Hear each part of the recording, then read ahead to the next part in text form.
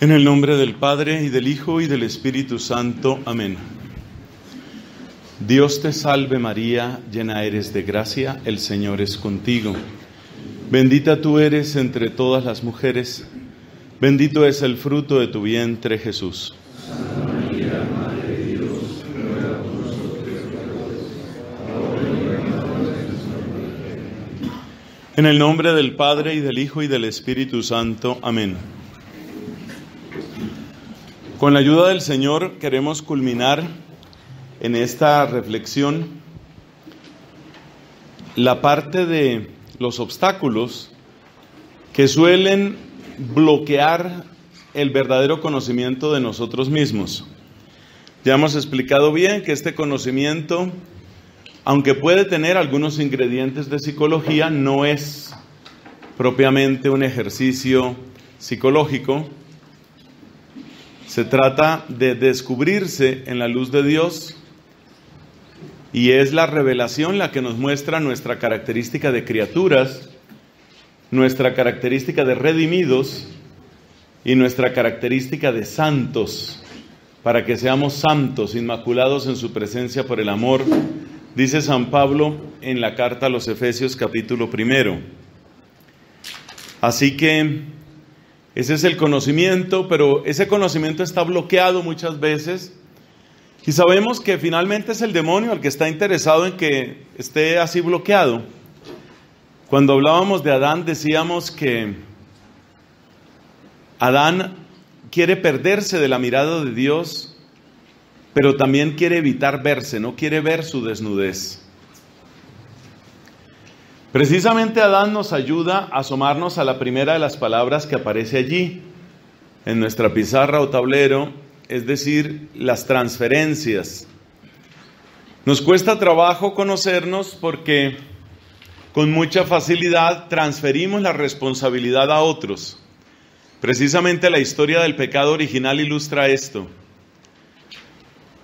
¿Es que has comido del árbol del que te prohibí comer? Le pregunta Dios a Adán. Y su respuesta es una transferencia. La mujer que me diste fue la que me hizo comer. También la mujer hace inmediatamente una transferencia, la serpiente. Se ve que es una tendencia muy humana, en hombres, en mujeres, en todos. Delegar la responsabilidad, quitarse uno la responsabilidad transfiriéndola a otra persona o a otro grupo. El problema de las transferencias es que desde el momento en el que yo me declaro inocente, porque todo sucedió a mis espaldas, porque fueron otros, porque la culpa es de otros, desde el momento en el que uno se cree inocente, bloquea, interrumpe toda posibilidad de conocerse. La declaración de inocencia es un bloqueo al conocimiento de uno mismo.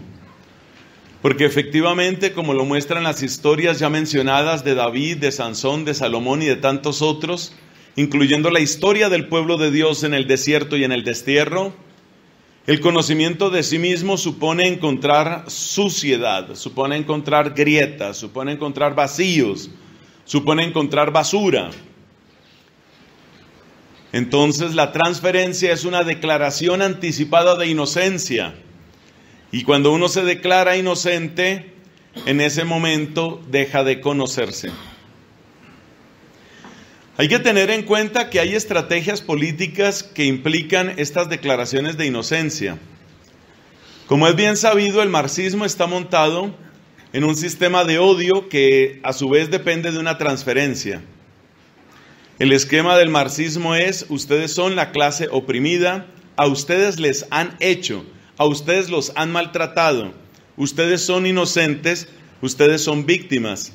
Pero ahora llega el momento de la justicia, ustedes ya no van a sufrir más, los que les hicieron sufrir a ustedes van a caer. Esa estructura que es parte, es, parte de la esencia del marxismo, realmente depende del odio. No se puede predicar marxismo sin predicar odio. Este mismo impulso permanece en los neomarxismos. Los neomarxismos son aquellos movimientos sociales y culturales muy de nuestra época en los cuales se sigue la estrategia marxista, es decir, tomar un sector de la población, considerarlo como o hacerles ver, sentir que son el sector oprimido, el sector siempre maltratado, que se consideren víctimas y a partir de ahí montar todo un movimiento para rescatar a esas supuestas víctimas. Lo que quiere eh, tanto el marxismo como el neomarxismo es crear una especie de tsunami, una ola muy alta y muy fuerte, para luego montarse encima de esa ola y así llegar al poder. Una vez en el poder, ya sabemos lo que sigue, se cambian las leyes, como dicen algunos gráficamente, se tira la escalera. Tú subes por una escalera y cuando ya estás arriba tiras la escalera, que nadie más suba. Eso es, lo propio del neomarxismo. Entonces, fíjate la transferencia que parece algo de niños. Los niños viven haciendo eso, ¿no? Fue que mi hermanita me pegó. No, él fue el que empezó primero. Eso que parece de niños no es un juego de niños. Es una verdadera estrategia que está muy próxima a movimientos de odio y de muerte, como es el marxismo y los distintos neomarxismos. Los neomarxismos más eh, prominentes actualmente son los movimientos feministas a ultranza, que por supuesto tienen jurada su guerra contra la iglesia, se ve clarísimo en Argentina, pero también en otros sitios. Es un feminismo que siente la urgencia de profanar, la urgencia de, destruir, tiene hambre de sacrilegio, hambre de profanación. Es un feminismo que ya muestra su, su verdadera estructura su verdadero sumo de, violencia y de odio. Entonces el feminismo, ese feminismo ultranza, no piensa en realidad a la mujer, la usa. La usa para crear una ola de poder, subirse en esa ola de poder y lograr los propios fines. La otra gran expresión de ese neomarxismo es el tema de la ideología de género. Se toma sectores muy minoritarios de la población, se les presenta como víctimas y como protagonistas de un futuro y a partir de ahí se subvierte completamente, se disloca completamente la sociedad. Es decir, la población gay es el pretexto, la mujer es el pretexto, el proletario es el pretexto. No podemos extendernos ahora en esto, ustedes pueden verlo en muchos lugares en internet, pongo a oferta de todos para servicio de todos, mi propio canal, ustedes lo conocen, mi canal en YouTube se llama Fray Nelson, con una sola palabra. Usted busca en YouTube Fray Nelson, ahí encuentra. Y dentro del buscador de YouTube usted puede poner, por ejemplo, Fray Nelson, ideología de género o neomarxismo y encuentra más información sobre estos temas. Es particularmente interesante el origen, cómo ya desde la Revolución Francesa empieza esta metodología, ¿no? Usar al pueblo para lograr el poder.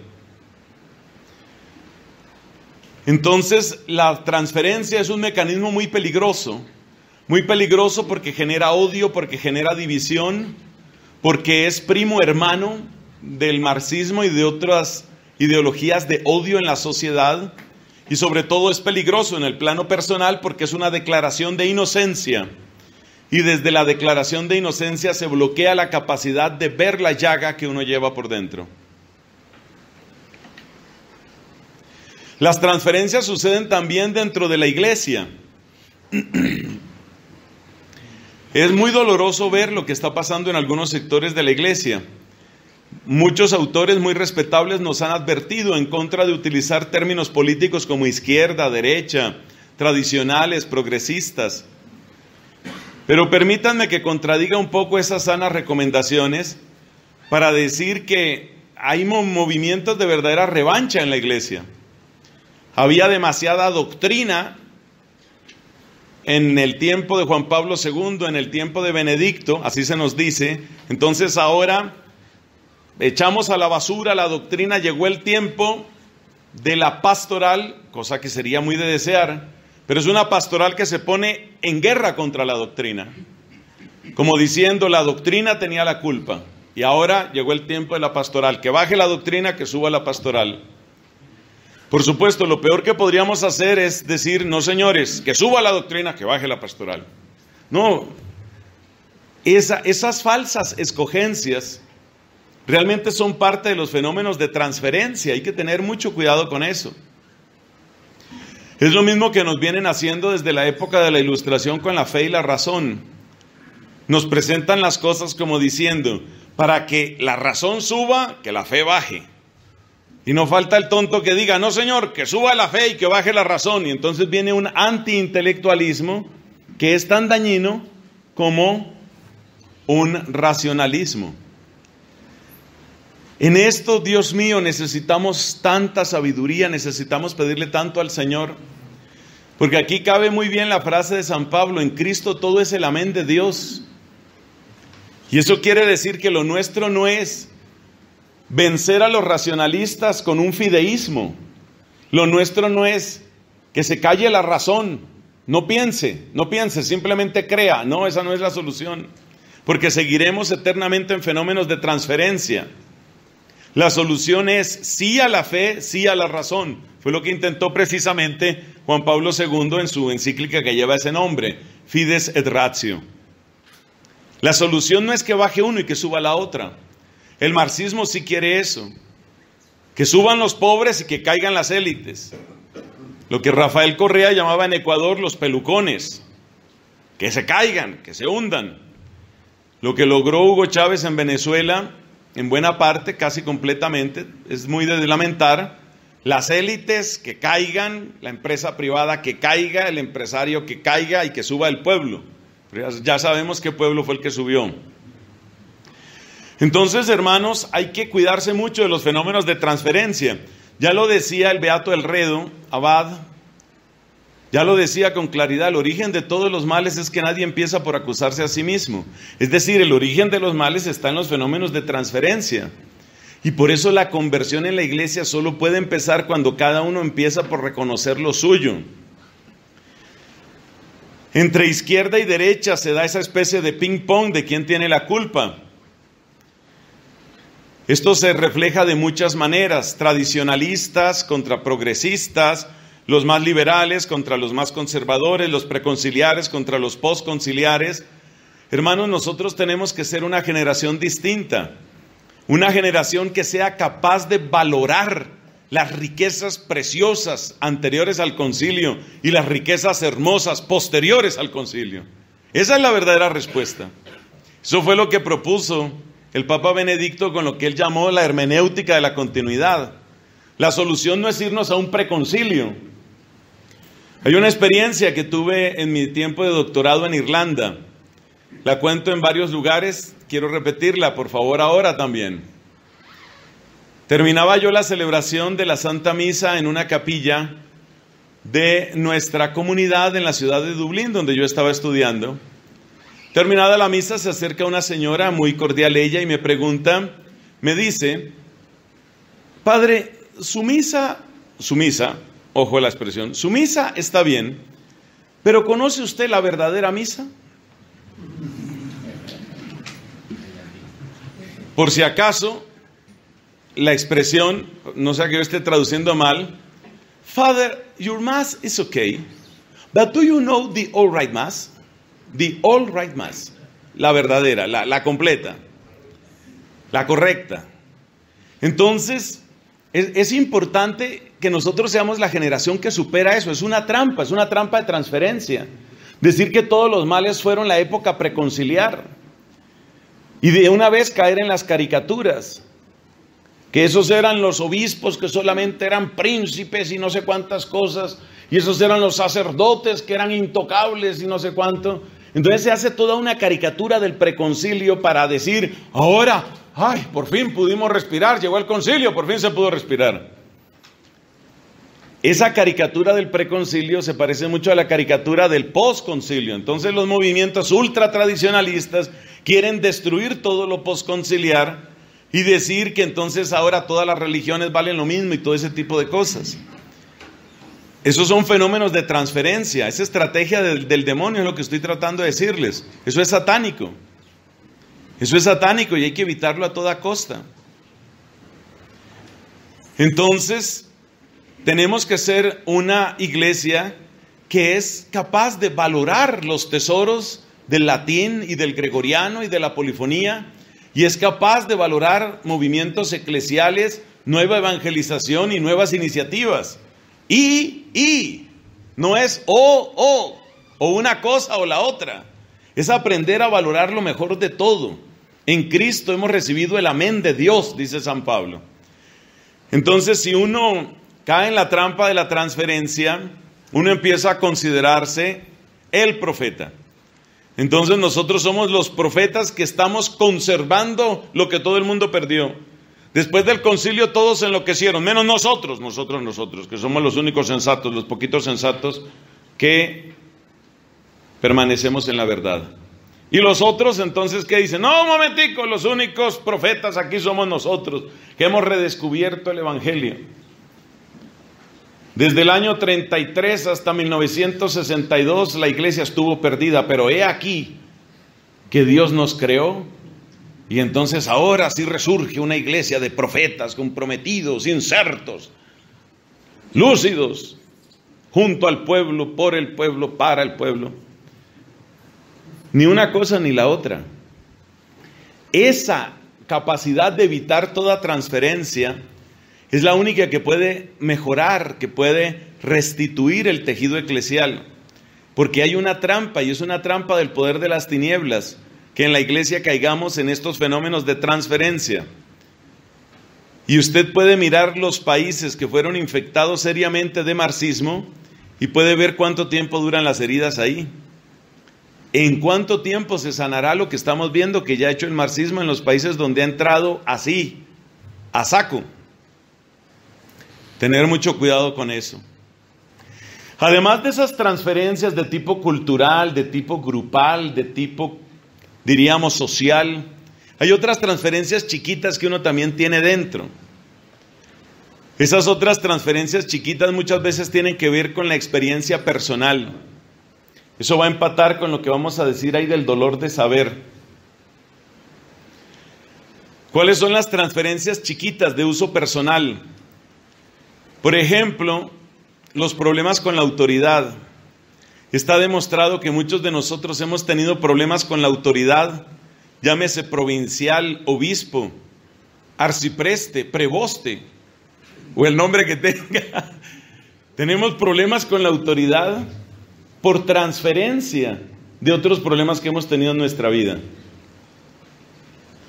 Esa parte me gusta a mí mucho de la renovación carismática, ese atacar los problemas en la raíz.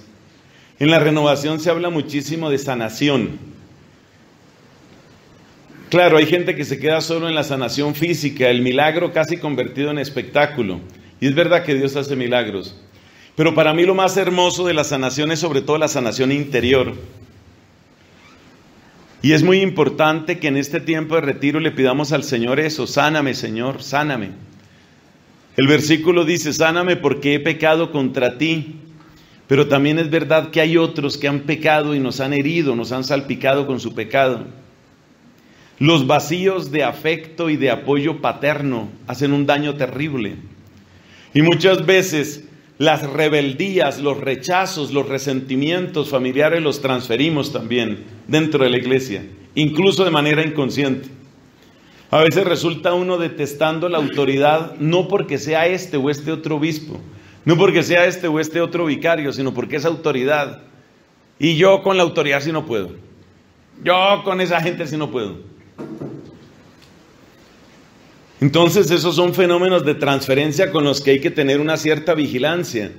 ¿Cuánto de mi aislamiento, de mi rebeldía, de mi entre comillas profetismo proviene simplemente de eso. Estoy haciendo transferencia de una imagen paterna, por ejemplo. Muchas veces nuestro aislamiento afectivo, nuestro aislamiento psicológico, tiene que ver con experiencias negativas de lo que hoy se denuncia en todas partes del mundo, el famoso bullying. ¿Cuántos de nosotros sufrimos bullying? ¿O lo practicamos? Es una cosa muy triste. Eso nos ha afectado a muchos. Entonces, eh, esas experiencias negativas del pasado hacen que uno también tenga fenómenos de transferencia. Muchas veces uno se encierra en uno mismo y uno prefiere, no, yo mejor no me meto con nadie, que nadie se meta conmigo. y detrás de eso hay una historia que es una historia de dolor, una historia de abuso, una historia de soledad, una historia de traición. En ese aspecto yo creo que la renovación carismática católica puede aportarnos en ese buscar abrir esas llagas, pero solamente delante del Señor y que Él las sane profundamente. Todo eso tenemos que decir con respecto a la transferencia. Otra dificultad para conocernos. Entonces, ¿qué hacemos con las transferencias? Dos cosas. Primero, tener conciencia del vínculo que tienen las transferencias con el odio. Y detrás del odio, todo lo que hemos dicho de los distintos marxismos, neomarxismos, divisiones en la iglesia, etcétera. Tomar conciencia de eso. Y no hacerle el juego al diablo. Lo cual significa, voy a apostarle por la unidad de la iglesia. Voy a apostar por la unidad del pre y el post concilio Voy a apostarle por la unidad de lo mejor de las iniciativas, llámense de izquierda, derecha, de como se llamen. Este servidor, con una figura que a veces ha sido tan polémica como el Papa Francisco, desde el principio ha tomado esa postura, que puede tener limitaciones como cualquier ser humano, estamos de acuerdo, que no todos son puntos fuertes en él, estamos de acuerdo. Pero yo creo que construimos mucho más en la iglesia si intentamos ver qué es lo que sí puede aportarnos. Indudablemente sí hay muchas cosas que puede aportarnos y que nos está aportando. Eso es ser constructivos. En mi país hay una vergüenza terrible con un canal de televisión supuestamente católico. Se presentaba, ese canal se llama Teleamiga. Se presentaban como canal católico y, y han emprendido una campaña contra el Papa, pero con todo, con todo una campaña abierta, violenta, eso no construye nada. Aunque dijeran cosas ciertas, que algunas por supuesto que dicen son ciertas, aunque denuncien eh, fracturas, incoherencias, peligros en el pontificado de Francisco, esa no es la manera, esa no es la manera. Tenemos que ser gente que ayuda a construir, gente que ayuda a aprovechar lo mejor de este hombre que que es en este momento quien nos preside en la fe y en la caridad, ver cómo podemos aprovechar lo mejor de Él. Luego ya la historia dirá, tuvo limitaciones, sí, como mucha gente, como mucha gente tuvo limitaciones. Entonces, con respecto a las transferencias, tener conciencia del vínculo que tienen con el odio y en segundo lugar, revisar las propias transferencias. ¿Qué es lo que yo realmente estoy detestando en lo que yo detesto?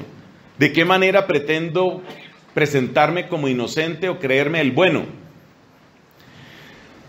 Pasemos a la segunda palabra que es más sencilla, la palabra mimetismo. ¿Mimetismo qué es? Pues mimetismo es dejarse llevar por la corriente, que es siempre lo más cómodo. Mimetismo es seguir la moda.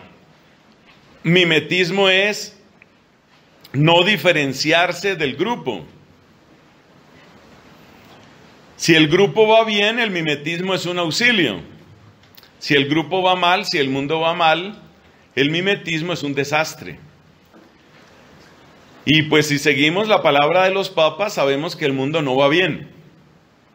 Y sabemos que hay una gran cantidad de corrientes culturales, sociales, incluso teológicas, que son desastrosas. Y por eso necesitamos vencer el mimetismo, porque el mimetismo es una manera de no conocerse. ¿Por qué? Porque el mimetismo es el arte de no tener que preguntarse porque ya todo está respondido. Ya todo está respondido. Entonces salir del mimetismo es asumir la responsabilidad de preguntarse a fondo. Es muy triste lo que está sucediendo en las librerías católicas. Muy triste. En la gran mayoría de las librerías católicas pareciera que el criterio dominante, si no el único, es el criterio del marketing. Si la cosa se vende o no se vende. Algunos libros francamente heterodoxos están a la venta en las librerías de mi país. Debo presumir con tristeza que también en librerías católicas de este país.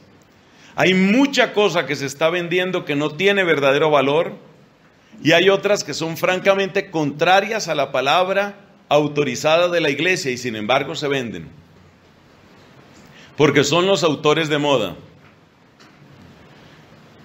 Yo no sé si yo tengo mucho o poco que perder, pero yo trato de hablar abiertamente siempre que puedo. Nuestra amada Iglesia Católica se demoró demasiado en abrir la boca para advertir sobre un autor jesuita llamado Anthony de Melo. Se demoró demasiado, demasiado. Fue ya como en la agonía o después de muerto Anthony de Melo que empezaron a advertir. Y en las librerías católicas de mi país todavía están y se venden con abundancia, con buen ritmo, libros de Anthony de Melo. ¿Dónde está el peligro de Anthony de Melo? Básicamente en que lo que él presenta como mensaje cristiano es demasiado distante del misterio de la redención. Usted puede tomar obras muy conocidas, muy vendidas de Anthony de Melo y se da cuenta que por ninguna parte aparece la palabra redención, por ninguna parte aparece el valor de la cruz, de la sangre de Cristo, de los sacramentos, de la mediación de la iglesia, la centralidad de la Eucaristía, la necesidad del bautismo, la oportunidad y el mandato de misionar, nada de eso aparece. Todo eso queda reemplazado por un lenguaje difuso de inspiración orientalista que tiene como centro cosas como la llamada iluminación según él. Esa iluminación es un concepto supremamente difuso en el cual uno no termina de saber qué está diciendo. Básicamente es algo así como la percepción del aspecto paradójico de la vida que ayuda a que uno sea menos rígido, sea más flexible, sea más acogedor, más creativo y tenga mejor humor y mejor digestión. Más o menos en eso termina la iluminación. Entonces el peligro está en que la gente cree que eso es un mensaje cristiano. Hermanos, como no podemos detenernos demasiado en este tema, y además me advirtieron que fuera un poco más breve en esta charla en particular, solamente quiero compartirles el gran criterio para saber si un libro sirve o no sirve en términos de mensaje cristiano.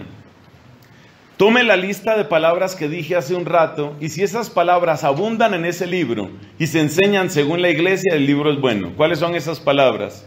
Cruz, sangre, sacrificio, redención, sacramentos, particularmente bautismo, reconciliación, Eucaristía, acción de la gracia, acción del Espíritu, realidad de la iglesia, necesidad de la misión. Sé que las he dicho rápido, pero ustedes escriben rápido y además miran con mucha atención. Y además esto queda grabado para disposición de todos. Entonces, hermanos, cuando uno quiere saber si un libro, usted va a una librería católica, usted dice, necesito como, no sé, como renovarme un poco. Es decir, debe haber algo más que resolver su docus. Entonces, cuando ya, cuando ya, cuando ya usted llega a la librería católica a buscar algo, en ese momento, querido hermano, usted puede ojear el libro y si usted ve que pasan páginas y páginas y páginas y no aparece nada de este vocabulario, no importa por qué se lo recomienden, por qué se lo cambien, perdón, no importa cuál sea el objeto de cambio, no, no es tan bueno.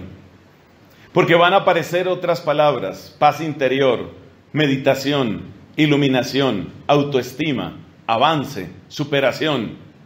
Casi todas son palabras que cantan al ser humano, que exaltan al ser humano y sobre todo hay una palabra que si no aparece por ninguna parte, usted por favor encienda todas las alarmas. Esa palabra es conversión.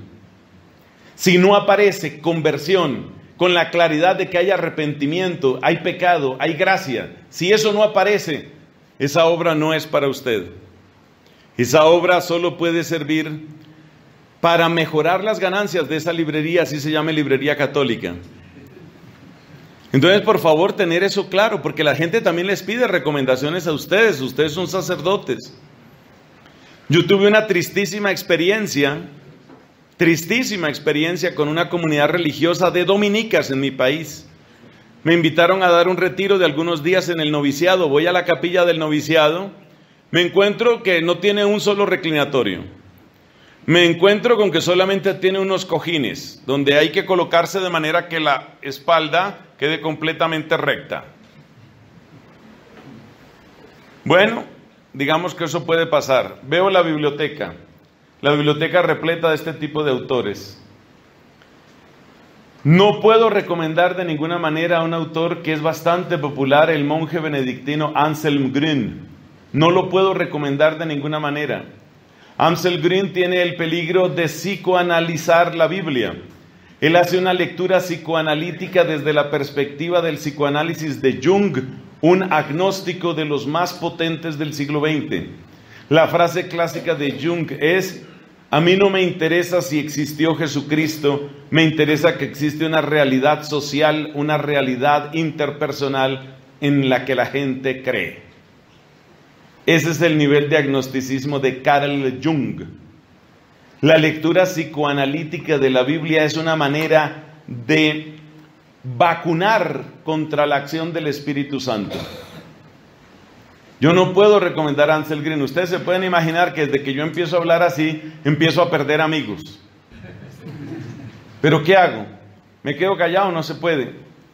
Ahora hay un desastre también de la Compañía de Jesús, que es el padre James Martin. James Martin es el, ideólogo, es el teólogo ideal para la ideología de género. Las afirmaciones de James Martin, un norteamericano, se escribe como Martín, claro, las afirmaciones de James Martin son francamente desastrosas. Todas van a favor de homosexualismo, todo a favor de ideología de género. Dice él que el catecismo de la iglesia lleva a que las lesbianas se suiciden. Entonces uno tiene que saber que estos autores existen. Y uno tiene que saber que esas corrientes contrarias al Evangelio tienen muchísima fuerza.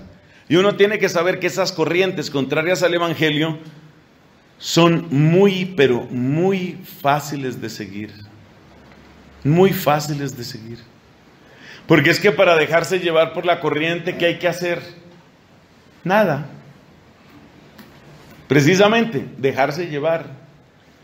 Pero ser fiel, ser fiel al Evangelio, sobre todo cuando hay tantas ambigüedades en tantos niveles de la iglesia, ser fiel al Evangelio significa perder, perder amigos, significa ser calificado de muchas maneras, significa ser descartado de muchos modos, significa que lo van a mirar a uno como que uno es el que está rompiendo la fraternidad en la iglesia y todo ese tipo de cosas. Pero la otra alternativa es el mimetismo y no nos vamos a quedar en el mimetismo. El dolor de saber es una gran dificultad. ¿A qué llamamos dolor de saber? Llamamos dolor de saber al hecho de que lo que uno empieza a descubrir en el conocimiento de sí mismo no es bonito. Porque uno empieza a descubrir lo que le pasó a Pedro, frente al esplendor de la santidad y la luz de Cristo en el lago, cuando la pesca milagrosa, ¿cuál fue la reacción de Pedro? Él recibió como una bomba de luz en su corazón. Él se dio cuenta que el que había estado predicando desde su propia barca era el santo de Dios. Él se dio cuenta que había demasiada pureza, demasiado brillo, demasiada inocencia, demasiada bondad en ese Jesús. Y simplemente abrumado por la santidad de Cristo cae de bruces y le dice, quítate, apártate de mí que soy un pecador. Ese es el efecto natural de la luz. El efecto natural de la luz es que nos hace ver esa clase de cosas, lo que yo no he querido ver. No solamente mis culpas, atención, también los daños que yo he recibido, las deficiencias que yo tengo, los vacíos que yo tengo, las inseguridades que yo tengo. Es muy interesante encontrar en buenos estudios psicológicos el tema de las inseguridades. Una cosa que parece estar demostrada es que los varones somos mucho más hábiles que las mujeres para esconder nuestras inseguridades. Y otra cosa que parece estar demostrada es que la inmensa mayoría de los varones pasamos por largos, largos periodos de terrible inseguridad por muchas cosas, empezando por nuestro propio desarrollo sexual. Alguien decía, más de un 95% de los varones, más de un 95%, se han preguntado en algún momento de sus vidas si son normales sexualmente. Desde los aspectos más exteriores, caracteres sexuales primarios y secundarios, hasta los más profundos, en dónde está mi corazón. Entonces uno tiene una cantidad de inseguridades, tiene miedos, vacíos, tristezas, frustraciones, rabias mal manejadas, resentimientos, remordimientos. No es bonito, no es bonito. Uno por dentro no es bonito. Y llegar a afrontar eso sin caer en la desesperación no es fácil. Entonces, por eso uno medio destapa eso y ve que eso está como muy feo y vuelve y tapa. Por eso hay muchas confesiones que son muy superficiales. Yo creo que todos hemos caído en eso. Confesiones muy superficiales. Es necesario pedir al Señor que nos conceda la gracia, pues de alguna manera estos días nos están preparando para la celebración penitencial, el momento penitencial que tendremos el día de mañana, porque todos lo necesitamos. Pero, pero hay que pedir a Dios la gracia de una buena confesión con verdadero arrepentimiento, con verdadero propósito. ¿Por qué los exámenes son muchas veces superficiales? ¿Por qué usted se ha dado cuenta que mucha gente en la confesión hace transferencias? Caso típico. Padre, vengo a acusarme de que mi esposo es un grosero. Pero para mí el caso más, el caso más dramático que, muchas veces me, me, maravilla es el de una religiosa, ahora me dirán que soy sexista también, es el de una religiosa que se fue a confesar y decía, Padre, me acuso, mire, mire, mire este nivel de complejidad en una confesión, Padre, me acuso de que yo comulgo, pero me hacen perder la gracia de la comunión me hacen perder la gracia. Entonces ahí finalmente, ¿quién es el culpable? Como que son ellos, pero, pero entonces soy yo, pero... Realmente la confesión es una hermosura, pero, pero la confesión requiere una gran sencillez. Contra ti, contra ti solo pequé, cometí la maldad que aborreces. Esa manera como ese salmo atribuido a David precisamente dice, en la sentencia tendrás razón, en el juicio brillará tu rectitud. Mira que en la culpa nací, pecador me concibió mi madre. Esa simplicidad para abrir el corazón, pero eso duele, eso duele. Porque es encontrar uno su propia basura, es encontrar uno lo que uno no ha querido ver. Es reencontrarse uno con lo que uno quiso ser en un momento dado. Como nos decían una vez en un retiro espiritual a nosotros religiosos, reencuéntrese con el novicio que usted fue un día. Reencuéntrese con el momento de su promoción vocacional, lo que usted quería. Soporte, por favor, aguántese una entrevista con ese que era usted el primer día del seminario. Ponga a ese muchacho que era usted mismo a que lo entreviste a usted. Ese ejercicio es muy bueno, a mí me gustó por lo menos. Entonces uno tiene dolor de saber, uno, uno, uno no quiere meterse en eso. Se necesita un auxilio especial del Señor para superarlo. Y luego, por supuesto, tenemos el tema del cinismo. También lo mencionaba el obispo en su homilía inaugural. El cinismo, la conciencia cauterizada que dice el Papa San Juan Pablo II en Reconciliación y Penitencia, conciencia cauterizada, ya no siente nada. La persona que comete un pecado y siente dolor, cinco pecados ya se acostumbró, 500 pecados ya le da lo mismo. Entonces vivimos en una época cínica. El cinismo se caracteriza por exaltar lo que debería ser denigrado o que debería avergonzarnos, como las famosas marchas del orgullo. Para mí, Realmente el vértice del cinismo son las tales marchas del orgullo. Es exactamente esto. Anda tan corrompido el mundo que durante un día, gracias a Dios no fue sino un día, pero es demasiado vergonzoso, demasiado humillante, demasiado triste lo que voy a decir. Durante un día fue tendencia en Twitter. Los que conozcan Twitter saben de qué estoy hablando. La etiqueta o hashtag la etiqueta orgullo de abortar en inglés fue tendencia en Gran Bretaña. Orgullo de abortar. Es la consecuencia lógica de los demás orgullos. Hacia allá, hacia a eso hay que llegar necesaria, forzosamente. Porque la única manera de evitar sistemáticamente el arrepentimiento es escapándose, vivir en una huida permanente como el que se droga, o si no diciendo, con una palabra que pretende oponerse a la palabra de Dios, estuvo bien, estuvo bien, estuvo bien. O sea, lo que ya escuchábamos en la predicación, definir por nosotros mismos que es bueno lo que en realidad es malo y que es malo lo que en realidad es bueno. Entonces vivimos en tiempos de cinismo. El cinismo también se entra en la vida sacerdotal, también en nosotros se entra ese cinismo, con distintos disfraces. Uno de los disfraces es, bueno, pero ¿quién es el párroco aquí? ¿Quién es el sacerdote aquí? Por favor, hay que tener mucha, mucha desconfianza de ese lenguaje. Las personas incapaces de diálogo muchas veces son personas que pretenden imponer su pecado, darle carta de ciudadanía a su pecado. Tenga mucho cuidado con eso, por favor no lo utilice. Son muchas las personas que se dan cuenta de nuestros pecados, errores, incoherencias, defectos en nuestras comunidades, pero es muchísima la gente que tiene miedo de hablar con el sacerdote. Esa es una realidad.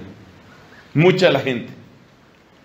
No somos en general, en general, espero que haya muchas excepciones aquí, pero en general los sacerdotes no somos gente que reciba fácilmente una corrección, no somos gente fácil para corregir. Eso quiere decir que fácilmente nos blindamos, nos defendemos. Y ten mucho cuidado porque el que se blinda fácilmente es un cínico.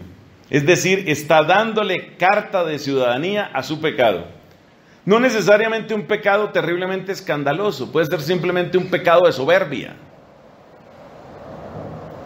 Puede ser un abuso litúrgico. Mire lo que pasó en mi país, contado por los protagonistas. Ustedes saben que hay un momento en la Santa Misa en la que está mandado que el sacerdote hace este gesto de mostrar su limitación antes del sacrificio lavándose las manos. Es un gesto de humildad, un gesto por el cual reconoce que ninguna pureza es suficiente para acercarse al altar. Es un gesto muy pequeño. Cada vez más sacerdotes omiten ese gesto. Pues resulta que un padrecito allá en mi país nunca realizaba ese gesto. El gesto sencillo ese en el que se dicen unas palabras, lávame Señor de mi pecado, purifícame de mi iniquidad. Palabras que nos invitan, una oración secreta que nos invita a ser humildes y a darnos cuenta de la distancia infinita que siempre nos separa de la ternura y la pureza de Dios. Y entonces se acerca una religiosa, después de pedir mil perdones y de disculparse y de humillarse, se acerca para decirle al Padre, Padre, he notado que usted no hace tal parte. Ay, me salió la experta en liturgia aquí. ¡Qué pereza!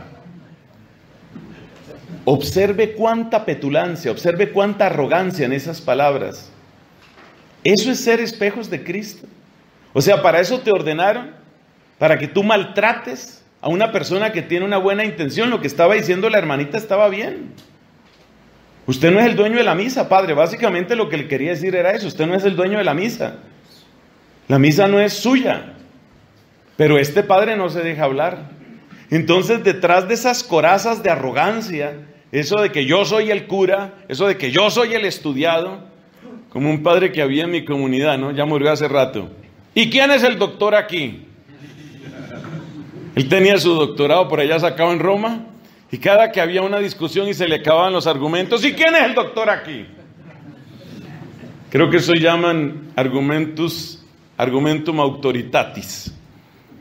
Entonces, hay que tener cuidado, eso, eso, es, eso es cinismo, eso es una actitud cínica, que lleva, por supuesto, a perpetuar situaciones de iglesia que son indeseables. No nos ordenaron sacerdotes para eso. Recibimos la ordenación, como nos lo está recordando ese libro que se está leyendo, recibimos la ordenación para ser verdaderamente servidores de Dios y de su pueblo. Y un test que todos tenemos que pasar es, si alguien ve algo malo en mí, ¿soy una persona que se deja hablar? Soy una persona, eso, eso pertenece a la virtud de la mansedumbre. Si alguien se da cuenta de un error que estoy cometiendo, ¿soy una de esas personas a las que se les puede corregir? ¿O soy una persona intratable? Porque detrás de lo intratable y detrás de las corazas siempre hay pecados pecados de capricho, pecados de soberbia o incluso cosas peores. Amados hermanos, terminemos aquí. Estos son cuatro, cuatro obstáculos más que hay que sumar a los ya mencionados, que son los principales. Activismo, ¿y cuál fue el otro? Y escapismo. Activismos, escapismos, transferencias, mimetismo, dolor de saber, cinismo, todos esos son obstáculos que nos impiden acercarnos al verdadero conocimiento de nosotros mismos. Ya en nuestra próxima predicación volvemos, volvemos al Nuevo Testamento y vamos a irnos acercando a la persona de Cristo. Y como Cristo, cuando dijo, yo soy el camino, también nos estaba diciendo, yo soy el camino para que tú encuentres tu verdad, la que no has querido ver, la que no te has atrevido a ver. Gloria al Padre, al Hijo y al Espíritu Santo